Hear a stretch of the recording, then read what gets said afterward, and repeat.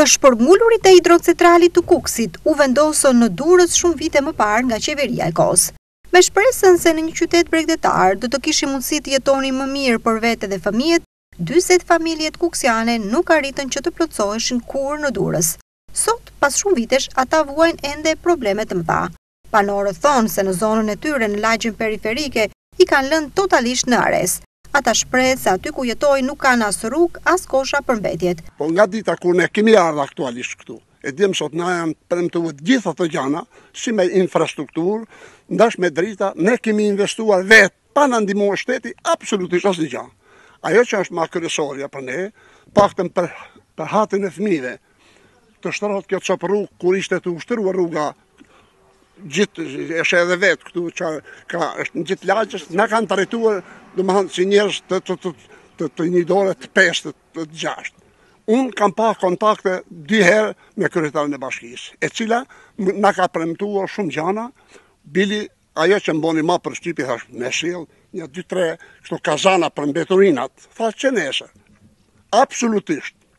As nesër, as sot. I kam shkruar, më ka thënë, ia kam përcjell drejtorive dhe ajo do të shikohet. Por rruga, rruga hajt shikojmë tha fondet, ta në qofë se do bohet. Po atë ditë më tha mu që këtë do të çoj që nesër teknikën për ta, pa, për ta matur. Janë 300 metër rrugë.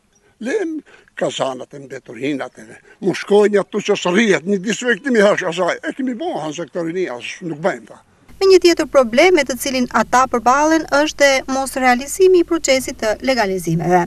Kemi kërkuar me insistim legalizimin e shpijave, Tha, bëjeni në kadastër.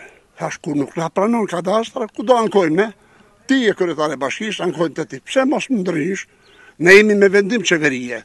Tokat na e ka dhanë shteti, qaku i dorshit, kanë ardhë kanë bo matjet teknike, po na te veni, absolutisht nuk bëjnë legalizimin e shpijave. Pse?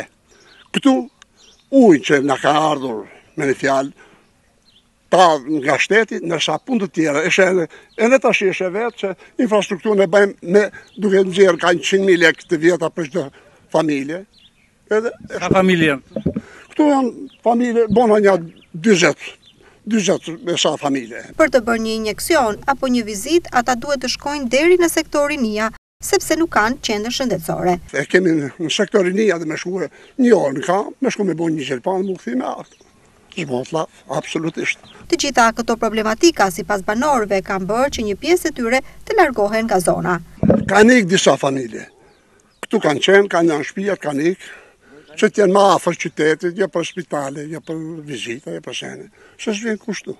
Ata nuk zgjodhën. Për ta u vendos që të qëndronin në Durrës, dhe përfituan kredi për banesat nga shteti, por u lanë në harresë nga bashkia.